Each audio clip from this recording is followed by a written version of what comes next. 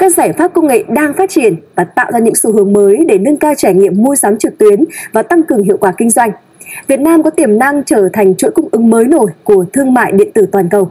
Vậy để cùng phân tích và tìm hiểu rõ hơn về các giải pháp công nghệ của các sàn thương mại điện tử, chúng tôi xin mời quý vị khán giả cùng gặp gỡ và lắng nghe những chia sẻ của ông Vương Mạnh Hoàng, Chủ tịch Công ty Cổ phần Tập đoàn Trí tuệ số.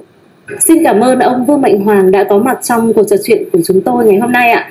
À, năm 2023 sắp kết thúc, đã đến lúc chúng ta có thể cùng nhìn lại những thành tựu này, các giải pháp công nghệ mang lại hiệu quả cho ngành thương mại điện tử. Ông có thể giúp chúng tôi điểm qua một vài công nghệ nổi bật nhất, được không ạ? Đầu tiên là liên quan tới việc đó chính là công nghệ gọi là video ngắn.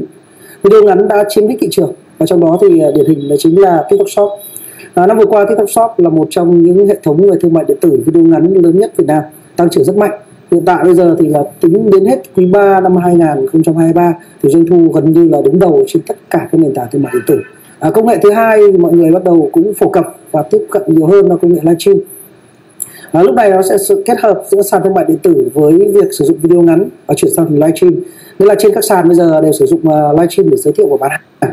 Tại vì khách hàng sau khi là đã được tiếp cận rất nhiều về quảng cáo, tiếp cận rất nhiều thông tin về sản phẩm, họ bắt đầu ờ, có một cái sự ờ, nghi ngờ và lo lắng.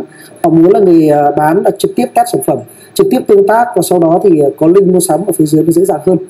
Và công nghệ thứ ba cũng gọi là được phổ cập và làm năm 2023 đó chính là AI À, lúc này thì chúng ta có thể thấy là AI thì nhiều năm trước cũng đã nói đến nhiều nhưng mà bắt đầu từ tháng 3 năm 2023 nó bắt đầu nó phát triển mạnh. Và lúc này mọi người nhà nhà người đều sử dụng bao gồm việc đó chính là dùng AI chỉ sửa ảnh dùng AI để tạo tiếng nói dùng AI viết kịch bản dùng AI làm video. Các giải pháp công nghệ trên thị trường có rất nhiều nhưng làm thế nào để lựa chọn được đối tác cung cấp giải pháp phù hợp cho doanh nghiệp của mình? Ông có thể chia sẻ kinh nghiệm trong lĩnh vực này được không ạ? Kinh nghiệm số 1 đầu tiên mà chúng ta muốn làm và tìm được đối tác tốt thì hãy tìm những đơn vị nào mà đã có những case study thành công. Hay nói nôm na là họ đã từng triển khai cho một đơn vị nào đó gần giống ngành nghề của các bạn. Tại vì như vậy nghĩa là họ am hiểu ngành nghề của các bạn, có các cái hoạt động thực tiễn để chúng ta có thể test được và tránh việc là chúng ta mua phải những cái công nghệ. Nghe thì nó rất hay, nó rất là tốt nhưng mà có khi lại không phù hợp với hoạt động của mình. Và bí quyết số 2 nữa là chúng ta phải luôn dùng thử. Nghĩa là nếu bây giờ các bạn muốn mua bất kỳ công nghệ nào thì đầu tiên cứ order đơn vị cung cấp cho chúng ta bản dùng thử. Tại vì thông qua việc là họ cho chúng ta bản dùng thử thì chúng ta sẽ biết được là sản phẩm này nó có dễ dùng hay không.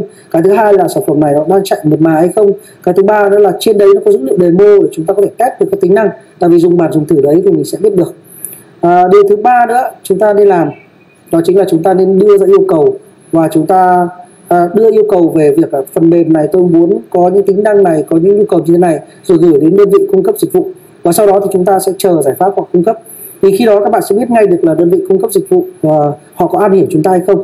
Kinh nghiệm thứ tư mà các bạn có thể áp dụng theo nữa, đó chính là việc là bất kỳ một đơn vị nào làm về công nghệ, họ cũng sẽ đều có bộ phận tư vấn và có bộ phận mang tính chất là bộ phận là ông bán hàng kỹ thuật am hiểu liên quan đến vấn đề phần mềm. Thì chúng ta có thể yêu cầu họ là chuyển bộ phận đấy đến với chúng ta để làm việc. Và sau đó thì bộ phận sale bán hàng kỹ thuật đấy, họ sẽ vừa demo trực tiếp này họ vừa tác trực tiếp này sau đó họ lấy dữ liệu của chúng ta nạp vào và họ làm ngay trực tiếp tại uh, văn phòng của chúng ta. Thì như vậy các bạn sẽ thấy được là đơn vị này có năng lực. À, và điều thứ năm nữa đó chính là bất kỳ một đơn vị nào đều có cam kết khi chúng ta ký kết hợp đồng. Cho nên khi bạn lựa chọn đơn vị cung cấp dịch vụ hãy lựa chọn những đơn vị mà có cam kết liên quan đến vấn đề việc là có thể sửa đổi này à, cung cấp thời gian sửa chữa này rồi có nhân sự hỗ trợ và có hotline để chúng ta có thể gọi điện ngay lập tức để tương tác với họ để thu hút và duy trì sự quan tâm của khách hàng, thiết kế website thân thiện với người dùng là rất quan trọng. À, giao diện người dùng trực quan, dễ sử dụng và tương tác mượt mà, giúp tăng trải nghiệm mua sắm trực tuyến. Ông có thể phân tích rõ hơn về giải pháp này được không ạ? Các bạn có thể thấy được là hiện tại gần như là mọi người bắt đầu chuyển sang dùng thiết bị di động rất là nhiều. Và cái traffic ở trên internet bây giờ thì ờ, nó có sự đảo chiều. Ngày xưa cách đây 10 năm thì như vậy 80% đến từ máy tính và 20% đến từ mobile. Thì đến bây giờ thì gần như phải đến 99% là đến từ mobile, còn lại rất ít lượng người truy cập đến từ ờ, được các thiết bị khác nhau. Và thì như vậy dẫn một việc là làm website bây giờ thì chúng ta phải đáp ứng với việc là cái màn hình rất là nhỏ. Và sau đó nữa là người dùng thì hiện tại bây giờ là họ cũng không có nhiều thời gian để họ đọc nữa. Cho nên là công nghệ làm web bây giờ thì bọn tôi có thể tự chung lại để phù hợp với người xem. Thì nó có ba yếu tố quan trọng mà chúng ta cần phải quan tâm à, yếu tố đầu tiên đó chính là yếu tố liên quan tới vấn đề về kích thước của chữ. Tức là chữ bây giờ phải to và sau đó thì phân bổ nó phải đủ rộng để người ta xem mà không bị mỏi mắt. Điều thứ hai liên quan tới bố cục của website. Và website bây giờ là chạy trên mobile cho nên là bố cục chúng ta không cần làm quá phức tạp. Chỉ cần dài dàn trải trên một trang. Và người dùng trong cái khoảng thời gian họ dùng ngón cái này họ có thể kéo họ xem được một cách thoải mái. À, điều thứ ba nữa là web bây giờ phải tích hợp vào các cái file media khác bao gồm việc là phải tích hợp video tích hợp âm thanh tích hợp AI và tích hợp thêm các cái hoạt động để khách hàng người ta có thể tương tác ngay trực tiếp trên mobile được. Với các đối tượng là người quản trị thì cũng tương tự như vậy. Những người quản trị họ bắt đầu đăng thông tin lên từ điện thoại. Và như vậy là cái hệ thống bên trong cũng hết sức tối giản. Để làm sao cho người ta có thể dùng app được, người ta có thể đăng bằng điện thoại của họ được, và ngay lập tức có thể cung cấp và chỉnh thông tin một cách nhanh với việc gia tăng các vụ vi phạm bảo mật và lạm dụng thông tin người dùng, thì việc nâng cấp hệ thống bảo vệ thông tin là vô cùng quan trọng. Theo ông, chúng ta giải quyết vấn đề này như thế nào ạ? Yếu tố quan trọng đầu tiên đó chính là phải nâng cao được cái nhận thức của mọi người về bảo mật thông tin. À, tại vì là rất nhiều người bây giờ vẫn có một anh nghĩ trong đầu là gì? Là cái thông tin mình đang có thì nó không quan trọng.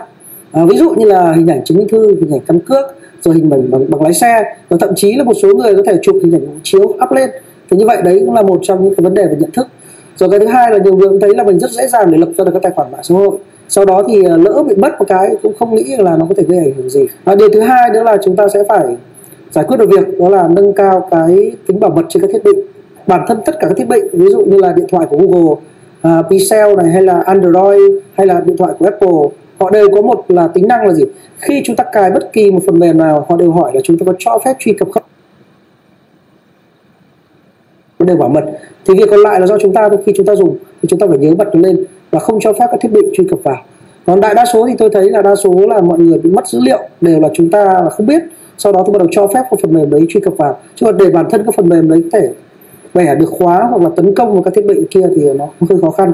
Tại vì mỗi một năm mà các công ty công nghệ họ đều đầu tư rất nhiều tiền để nâng cấp hoặc bịt các lỗ hổng. Nhưng mà họ không thể bịt được lỗ hổng cho con người. Và yếu tố thứ ba nữa, nếu mà nhà nước giải quyết tốt các vấn đề liên quan việc là sim giác để tránh bị mất OTP rồi sau đó liên quan đến vấn đề việc là phạt tiền nếu những người nào mà lừa đảo trên môi trường này một cách mạnh mẽ hơn thì tôi nghĩ là nó cũng sẽ là một yếu tố để tăng cường cái yếu tố bảo mật. À, xin cảm ơn những chia sẻ rất hữu ích của ông Ngô Mạnh Hòa trong chuyên mục của chúng tôi. Và xin chào